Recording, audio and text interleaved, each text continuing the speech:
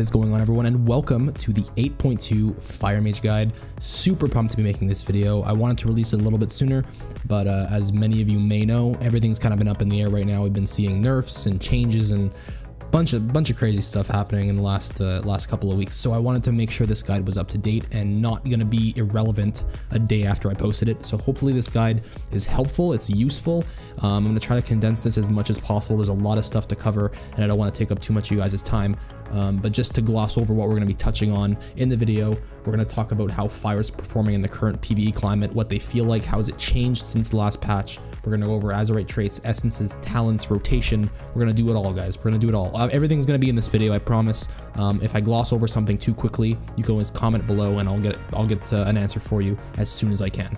Now, for this guide, I thought it would make a lot more sense to break it down into different portions. So what we're going to do is we're going to talk about single target stuff first. We're going to talk about essences, traits, talents, trinkets, all that stuff for single target encounters. And then we'll briefly move over and talk about how it changes or how it differs from single target in terms of Mythic Plus or Hectic Ad Cleave or AoE type scenarios. Now in terms of single target, let's talk about essences really quick. As you can see here, Condensed Life Force rank 3 is going to be the highest DPS essence in terms of single target encounters, followed closely by Memory of Lucid Dreams, and then Crucible of Flame. It is worth noting that Condensed Life Force is not obtainable in rank 3 just because it's gated behind the uh, reliquary system in the new raid and it's going to take a couple of weeks before we start seeing people actually using rank 3 Condensed Life Force. So as it stands on live, Memory of Lucid Dreams rank 3 is the highest essence you can be putting into your neck for single target encounters.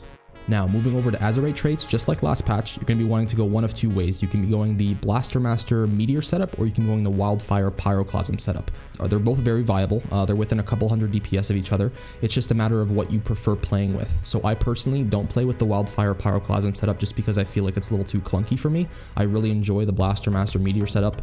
Um, it synergizes incredibly well with Memory Lucid Dreams, and I've just had tons of fun playing with it. I highly recommend it if you haven't tried it. Um, but going back to the Azerite traits, you're going to be wanting to try and grab three of those pieces. So three pieces with Blaster Master or three pieces with Wildfire is going to net you the highest DPS result.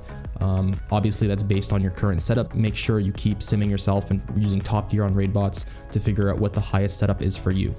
On the same note, in terms of secondary Azerite traits, things like Undulating Tides and Firemind, and even old traits like Treacherous Covenant at the Mythic level are still performing really, really well. So if you have pieces with, let's say, a Blaster Master Treacherous Covenant and a Blaster Master Undulating Tides, those pieces are really, really strong, um, and I highly recommend keeping them. And again, using the Raidbots uh, option Top Gear uh, to sim yourself and make sure that you're actually using your best traits possible. Now, in terms of trinkets, the two that you're going to want to pick up are going to be the Leviathan's Lure and the Shiver Venom Relic from the new raid, um, both of which come from the first two bosses, those being Abyssal Commander Sivara and the Blackwater Behemoth, respectively. Uh, these trinkets are performing exceptionally well in multiple scenarios, things like Mythic Plus, AoE, like Hectic Ad Cleave boss fights, and single target. They're just all around great trinkets. Uh, if you haven't had too much luck, you can still be using things like the Notorious Gladiators badge, which is the new um, PvP season on use intellect trinket, things like Balefire Branch as well. These trinkets are performing really, really well, and I highly recommend trying to grab them if you can. It's also worth noting that the inscription trinket, uh, the Highborn Compendium of Storms, the 400 eye level trinket, is incredibly strong. If you don't have any luck with your trinket rolls this week, they don't sell for very much gold and you can pick yourself up one from the auction house. Now, of course, no guide would be complete without going over talents, but very briefly, if you're going to be playing with Blaster Master, taking Meteor is your best option. Why is that? Because Meteor actually benefits from Ignite damage. Blaster Master increases your mastery, which in turn increases your Ignite damage. Therefore, playing with Meteor actually does benefit your Ignite damage and synergizes incredibly well with Blaster Master. The same connection can be made when playing with Wildfire and Pyroclasm. Both of these things increase your Pyroblast damage, so it just makes sense to be playing with both of them in conjunction with one another. Outside of these two key differences, the standard build as it stands right now is going to be Searing Touch, Rune of Power, Conflag for single target fights, and the only time you're going to want to switch these talents is when you're running for a cleave fight or a hectic ad cleave or whatever you want to call it, Mythic Plus say. Um, Flame Patch is very, very strong with the Blaster Master Meteor Lucid Dream setup. Um, this also works well with Pyroclasm, although I don't recommend playing Pyroclasm in, in Mythic Plus dungeons just because you want that AoE, you want that burst. Um, Phoenix Flames can also be opted for in, in high burst Mythic Plus scenarios, um, but generally speaking, for single target encounters and for AoE encounters, the outside talents are going to be Searing Touch, Rune of Power, Shimmer, Flame On, Frenetic Speed, and Conflag. All right, so now we've reached a point in the guide where you're probably wondering, all right, how do I integrate all of this stuff into my rotation? How do I go about doing the burst? Um, what's the opener like for Lucid Dreams with Blaster Master and Meteor? So as you guys can see on screen here, I've created this infographic that's been kind of circulating in the Discord, and I apologize in advance. Uh, Keistis, thank you very much for pointing it out. Um, I did add the Intellect Potion as a pre-pot, but it is important to note here that the Unbridled Fury Potion um, does net a higher DPS result than the Intellect Potion. The reason you'd use the Intellect Potion um, would be to just essentially have a higher Ignite tick if you're expecting a lot of ads um, for Hectic Ad Cleave fights and stuff like that. That's when you use the Intellect Potion, but Unbridled Fury definitely does do more DPS. Um, so it's important to keep that in mind. But regardless, the opener does stay the same. It's just a matter of changing your potion.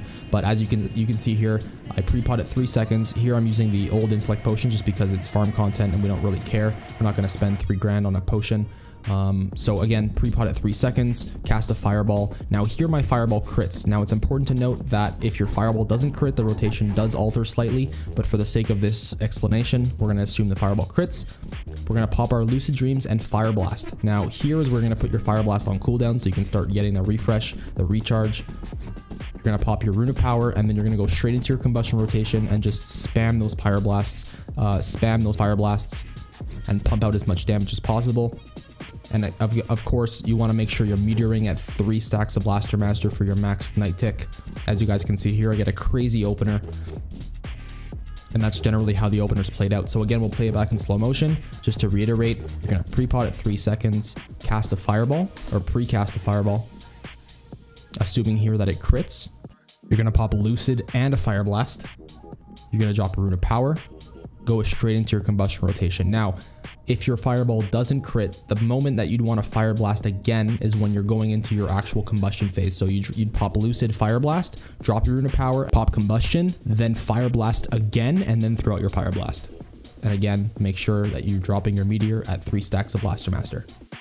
Now it does happen that you don't get that many procs or you feel like you're running low on Fire Blast charges. It's totally fine to switch to Scorch and Scorch Weave with your Fire Blast charges. I, you see me doing this in this opener specifically. It's totally fine. Just make sure that when you're comfortable with how many charges you're getting, you'll start to notice the more openers you do, how many charges you're getting. And if you're running low on charges after you've used your counter spell and you, you notice that you're a one stack left, you can go ahead and switch to Scorch and just weave Scorch in with a Fire Blast to maintain your Blaster Master stacks. That's totally fine. And of course, when your combustion phase ends, you want to be dropping a second rune of power to utilize the remaining cooldown on your intellect potion or unbridled fury potion. And again, like last patch, you want to be dropping another rune of power the next time your meteor comes off cooldown and dropping your meteor inside of that that uh, that rune of power. In terms of stats, I can't really tell you what the best stat is because it fluctuates between each individual person. But what I can tell you is that haste and versatility are really strong with the Blaster Master Meteor Lucid Dream setup. Um, but again, the best recommendation I can give you is sim yourself. Use Raidbots. It is so amazing. It's so useful. There's no more downloading SimulationCraft. Just plug your stuff in. Um, if you guys need a little like a tutorial or a guide, I have a video on my channel you guys can check out. Um, but yeah, sim yourself always make sure that after you get an upgrade you're running those those uh, top gear options or the sim results and checking what your stats are um, and that's the best way generally to figure out where you're at Alright, so with all of my guides, there's always a Feelycraft portion, and this is it, guys. Where do Fire Mages stand currently in PvE? How do I what, how do I feel about them? What are my thoughts about them? Um, aside from the nerf to Lucid Dreams, the, the minor at least, um, I feel like Fire Mages are in a really good spot. It Maybe it's just me, uh, but I feel like the cooldowns line up really well with almost all the fights in, a, uh, in the Eternal Palace. Um, fire just feels really great. It's in a really great spot.